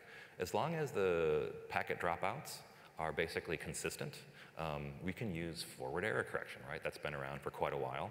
Uh, use forward error correction, uh, as long as it's not too bursty, um, this will work. So we also use um, media resilience as a, the second key part of how we maintain video quality in WebEx. That's why, you know, in that 6% range of packet loss that, you know, it's going to be hard for somebody to know that there's a problem because we're doing um, forward error correction. But you don't want to use too much because then bandwidth becomes a problem. So if you put it all together, if you're using rate adaptation, media resilience, and you design the network uh, using QoS and DSCP values, so at least on the customer prem, uh, their traffic is optimized and not subject to drops on the customer side. That's the best of both worlds. Um, so the codecs are loss resilient, the codecs can downspeed and upspeed, and they adapt to changing network conditions. And we engineer the network so that they don't experience congestion, at least on the way out. Okay, and then so how do customers deploy this today? Uh, you could do it in three different layers. You could just do the UDP port ranges. That's the easiest thing to do. So you identify the source and destination, tag your traffic, off you go, you're done. Uh, DSCP trust would be uh, the higher network layers. Let's use, um, let's use the network intelligence, NBAR. Um, uh, let's get the, uh, uh, the traffic uh, trusted between the clients and the network. And we can also do a policy, you know, from our SDN, um, you know, equipment. SDN can actually build a dynamic policy and distribute it all the way to the various switches and access layers uh, that enforces this policy of what traffic gets optimized and where. Okay, and then um, just an example of when this doesn't work, like let's say that uh, you um, have a, a, media application and you're monitoring your latency, and uh, let's say that there's congestion. In this example, I have a 100% link utilization, right? Like somebody is streaming from Netflix or uh, torrenting from a peer-to-peer -peer network and downloading stuff, and it's using absolutely 100% of the bandwidth what does the latency look like in media? You'll see this sort of thing. The um, buffers basically do a starve and uh, clear and refresh. So basically you get a, like a y equals x uh, latency increasing from about 200 milliseconds to whatever the depth of the buffer is, and then it'll crash. And this would be like a huge packet loss moment, uh, and then we restart. And this happens over and over again. So this would be an example where QoS isn't deployed. You get this spiking latency. And then um, another one would be, okay, if I'm not just um, a single stream, uh, we have many shared streams, you're gonna get a ringing function that'll look like this, where we peg the latency. Uh, like say if we have additional connections, the latency will peg and bounce around whatever the peak buffer is, and the queue actually never empties. That would be the other thing. If you just see consistent and steady high latency, that just means that you have a, uh, a buffer in a switch that's basically servicing multiple clients and it's completely tapped out. Um, and I think no, no discussion on um, um, QoS would be complete without Wi-Fi. Uh, I think, uh, would you guys agree that uh, Wi-Fi is maybe the biggest source of trouble in this environment at most enterprises? Okay. So um, we are doing some um, proprietary stuff with uh, Apple that you might have heard of called like Fastlane. Uh, there's a bunch of other technologies in the space, um, and it's all been out for a while, and you can take advantage of it. Like some of the things that Fastlane provides would be, uh, you know, like priority access for various applications on Wi-Fi, because Wi-Fi um, has um, the, the problem that it's really not full duplex, right? It's what they use is multiple channels and multiple antennas to try to kind of fake or mimic uh, a full duplex transaction. But uh, they usually tend to have additional latency and additional problems basically with media. Um, the other problem might be in access points. Um, most clients only look for the closest access point. They don't necessarily look for the best access point that has the most throughput. And they also have problems, say, switching from one access point to the next, which you probably are pretty familiar with, like in cellular networks too. There's always some kind of an awkward handoff, I think, if you're mid-call that can occur still. Um, Fastlane and our Wi-Fi teams are working on a lot of these things. If you want to take a look, uh, we do have a bunch of design guides for how to deploy QoS in Wi-Fi networks. Um, and just maybe also pay particular attention to the Apple devices because um, we can take those maybe to the next level. Okay, and I, I, I would imagine there's a. Uh, I didn't put it in our session, but I'm sure from the um, uh, the wireless uh, teams here this week, uh, just pay them a visit, and they know this uh, far better than I. Okay? So um, takeaways, um, Macs do this today. Uh, the Windows, oh, I didn't say why Windows uh, can't do um, this today. It's because uh, Microsoft has a policy where if you write to the um, application or the device layer that sets the DSCP values, it just has a policy that that requires admin rights. And like as I was saying earlier, um, we have a requirement in our uh, client um, we do not want it to require admin rights to install ever. So um, we can't uh, permit it to do that. so this doesn't mean that you can't build a, uh, there's a way to do this manually yourself. There's a thing called the group policy editor, and you can go into the group policy editor and define a profile that you distribute to all your Windows PCs, right? And you can say, okay, if it's the WebEx meeting or the WebEx desktop app client, you know, put it into this queue and to tag its traffic in these various layers. So you can use the GPO editor to assign it. Uh, if not, like as I was saying, do it in the network. NBAR2 has a built-in um, uh, profile for it. So all the various ISR, Nexus switches, including Meraki APs and other wireless APs, they can all run NBAR. So as long as you're at a switch or access that uses NBAR, you can do it. Um, DNAC also has WebEx profiles. And um, uh, Teams, uh, cloud registered endpoints, do this by themselves automatically. So you don't need to worry about the Teams environment. Um, not to worry. And uh, the video mesh node is doing it too. Okay, any, um, any cues on QoS? I only have one more section.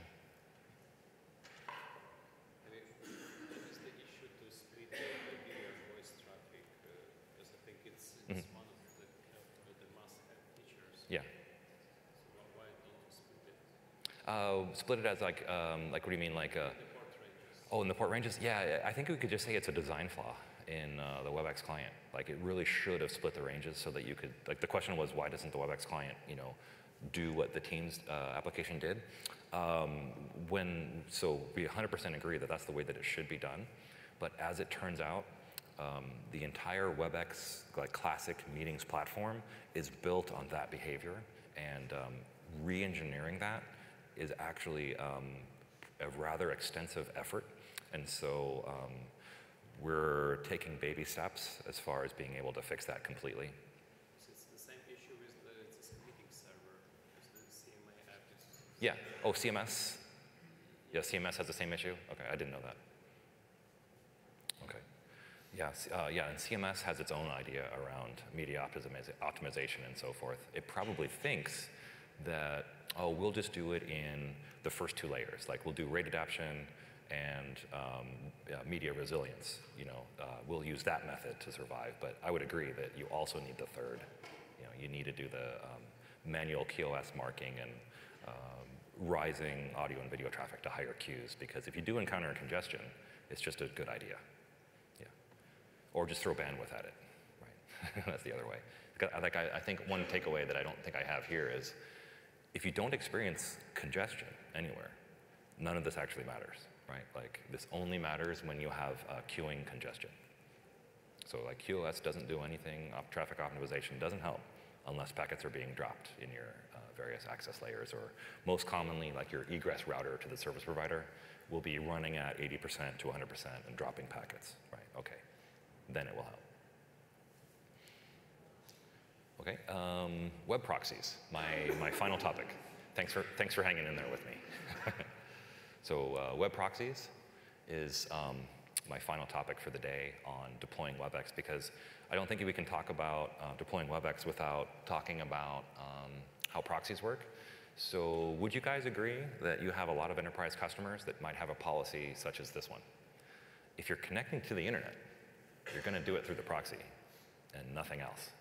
Is that fair? right? Like, I don't care what you're doing, I'm making you go through the proxy. That's uh, really, really common, I think.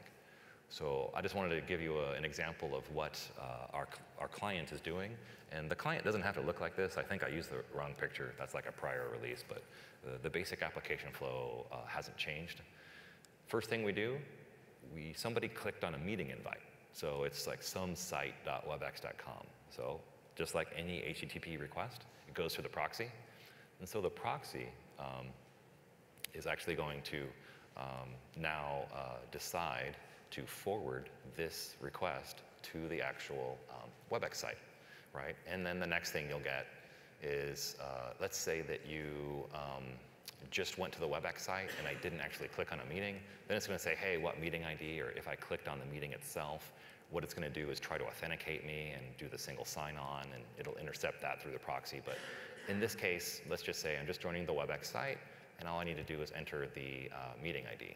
So after we enter the, the meeting ID, now what this client is going to try to do is we actually open up a number of media connections. Like we discussed, we discussed those earlier in the call, but I need to open this WebEx page. I need to open a connection to WebEx chat, WebEx file. If somebody's doing desktop share, if somebody's opening up their camera, we connect to these uh, collaboration media servers.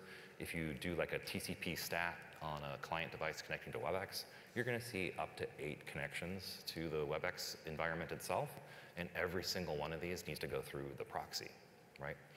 So, um, and once we either authenticate to the proxy, if proxy authentication is turned on, um, we can go ahead and join the meeting, and then um, all the flows, like we connect to the proxy, and the proxy connects to WebEx, and it transfers all the flows back uh, to the customer successfully, right? So that's just an overview of the proxy environment. if you wanted a visual of what does proxy authentication look like, so like pretend this is the proxy uh, and this is just a, a, router in the network.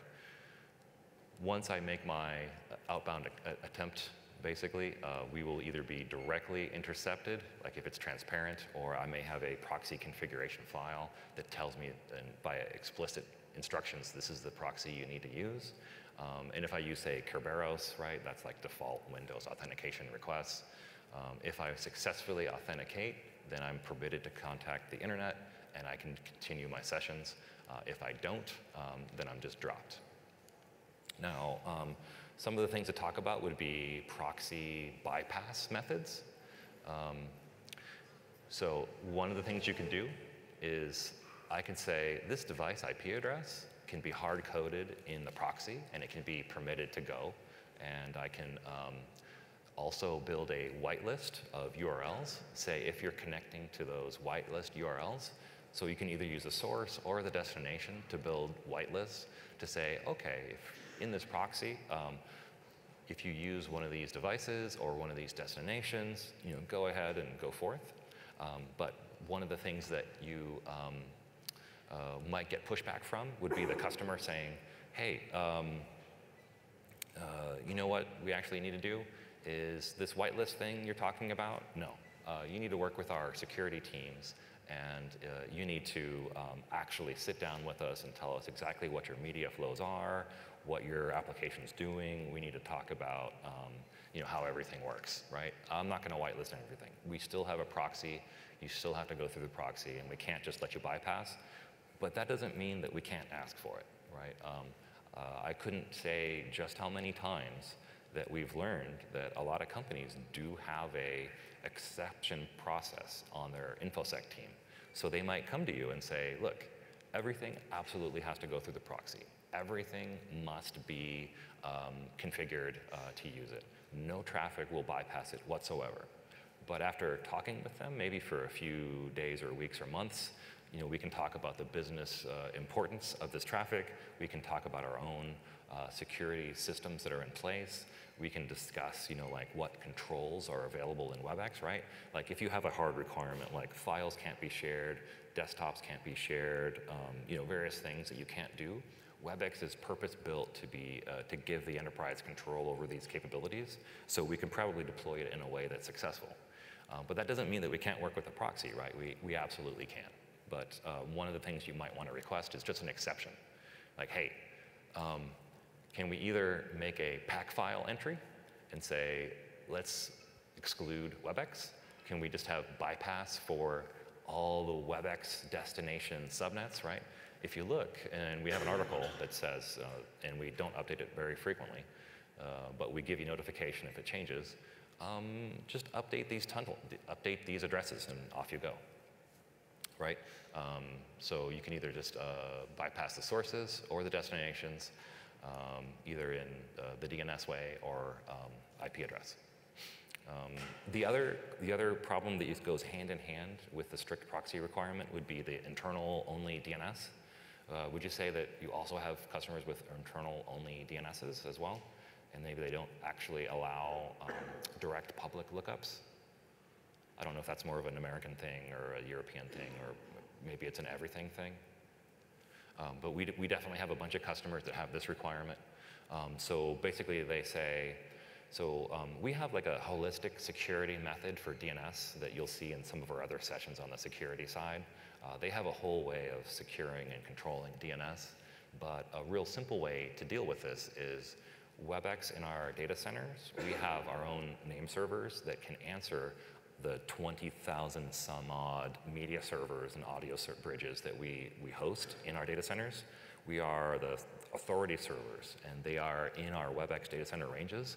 So even if you have an internal only DNS and everything must require a proxy, in their internal only DNS, what you could say is something that is looking for a webex.com address, set up a forwarder, and the forwarder doesn't go to the public internet you just go to our primary and secondary uh, authority name servers for webex.com. So if they're trying to get a webex.com address, all they need to use is just the two forwarders that are hosted in WebEx. So hopefully that'll be a condition because the problem that occurs is um, you know, failures to join meetings, of course, right? Depending on uh, if the customer attempts to host the WebEx DNS names themselves, they might be able to get um, uh, they might be able to get um, say, the initial pages to load, but as soon as we go to the media servers, that list is rather extensive. I think it's almost impossible for a customer to try to attempt to uh, maintain that list. And operationally, we change that list very frequently, so our only recommendation is to use our name server so that when the client does a check, who's my closest media server, that it's available, because trying to host that themselves would be impossible. Um, here, here's an example that you might see. Um, there's a, a, thing called ICAP, which is basically you know, context uh, recognition. Um, if you ever get a, a client that says, uh, I'm trying to join the meeting and I get hung up and stuck at a certain percentage value, who knows what that percentage value is, they possibly have a proxy that's doing ICAP, you know, context scanning. It appears to be like streaming to the network when the client is joining and the file never completes, so the ICAP never actually releases the connection because it's trying to say, is this YouTube? You know, I got to this long list of traffic and I never quite got to the end. It's actually the WebEx meeting join process. You know, that's one thing to watch out for. Um, WebEx recordings inaccessible um, is another um, slightly less common uh, but still valid proxy uh, intercept problem the WebEx recording player is a unique device and does have um, independent certificates that it uses different from the WebEx client. So if all of our testing and verification had to do with the WebEx client and the meeting join process, you still may have a problem playing WebEx recordings using our network-based recording player, just because it is a different entity and itself would have to be permitted. You know, it's possible that they're blocking it too. Okay. Um, this is a great eye chart on what versions of proxy authentication all the various devices support. So for the purpose of my presentation, I'm talking about WebEx, desktop, and client. So all the basic uh, authentication methods we support. Uh, TLS inspecting, um, it's kind of weird, you know, like where you use the, the man in the middle certificate. You know, some companies might have that requirement. We, we hope that you don't, um, but uh, we don't have it. Um, the Teams client does, however. Uh, they can pin a certificate and you can do TLS inspecting with it. Uh, that's just a reference. The, the article exists elsewhere. Okay, um, and I think that was the end of my presentation. Um, just a, a, takeaway is remember there is the room. Um, I'll be active in that room and I'll add some folks from my team as well as engineering to answer any questions you have. And I think it says that it, we stop monitoring it in a week. No, I'm gonna, I'll be, I'll be watching it for months. So ask me anything. I'm here to help. Um, also, please com uh, complete your um, survey.